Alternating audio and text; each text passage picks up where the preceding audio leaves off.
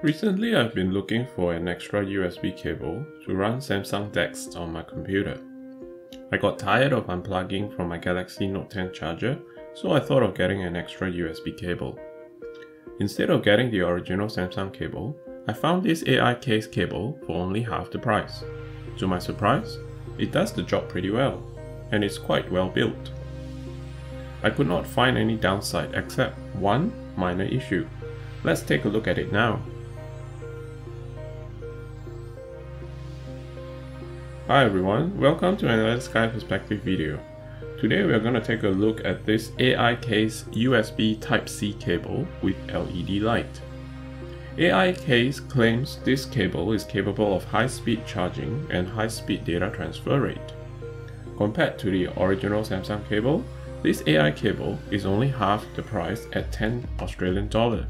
So I thought, why not give it a try? The design is very well made. Materials of the plugs are very high quality and the cable is soft but feels strong, like a rope. Only time will tell how durable the cable is. The cable comes with this cable organizer tie, which is the only bit I don't like. This velcro-like cable tie sticks to all types of microfiber materials, including its own cable. As a result, it's quite annoying to unwind the cord.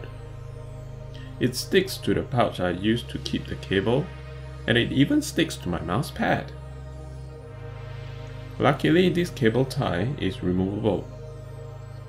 I'll remove it after this video and show you a new trick how I organize my cable without this cable tie at the end of this video.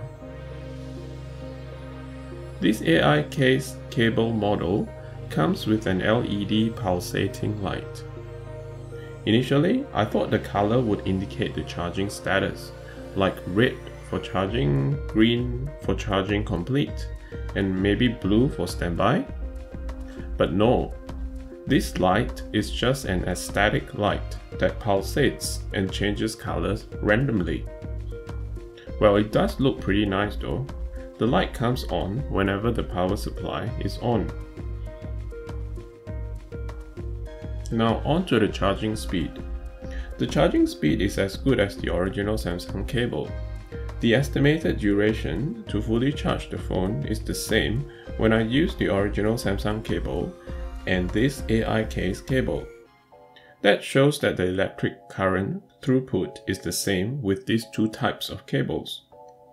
Now just a quick disclaimer, if you don't want to risk damaging your device, you should always use original cable from the manufacturer.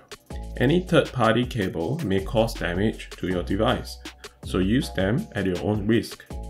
I'm just sharing my usage experience of this AICase cable that I've bought.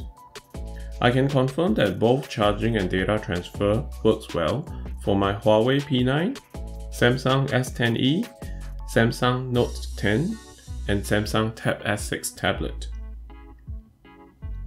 Now speaking of data transfer, it works pretty well and efficient too. Whenever I plug in the phone to my computer using this AICase cable, Samsung DeX will always be automatically de detected and activated. So far, every time I plug it in, DeX will always activate automatically. It's even more consistent than my original Samsung USB cable that comes with the phone. The original cable sometimes does not kickstart Samsung DeX on my PC and I had to unplug and plug it in again, which can be sometimes quite annoying. The data transfer rate is pretty fast too.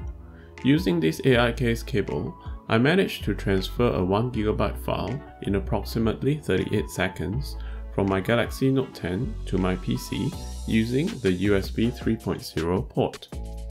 This AICase cable works with battery packs too. I tested it with my Samsung S10e and my Galaxy Tab S6 tablet. They all charge pretty well from the battery pack.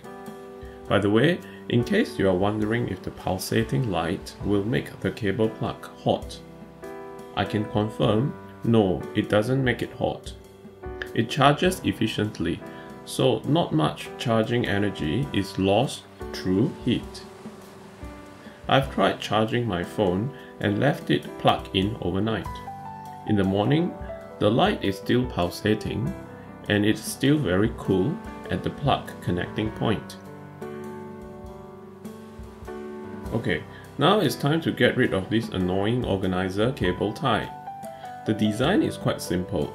It's a two-loop design with one mini loop to hold itself onto the cable and the external loop to tie the cables together. Now that the cable tie has been removed, I'll show you how I tie my cable neatly without damaging it. When winding the cable, we'll just leave the tail end of the cable and pass it through the center to wrap and tie itself like this. It holds pretty well. I use this method to tie almost all my cables without a cable tie.